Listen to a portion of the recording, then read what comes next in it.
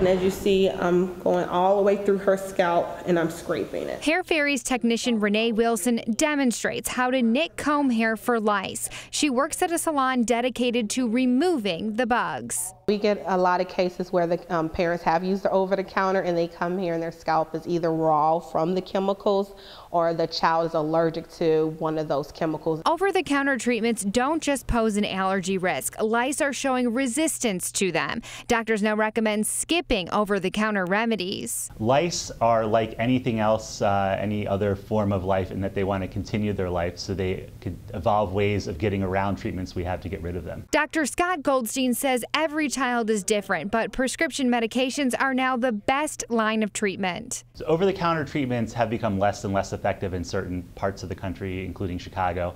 Um, so we recommend they're fine to try, but in general, they're not very effective anymore. Companies like Hair Fairies are catching on. Even better, many of their services are covered by health insurance. Preventative measures are key, like keeping children's hair up in a braid or a bun, keeping styles short, or checking your child's scalp weekly. Head lice don't jump, hop, or fly, they crawl. Stay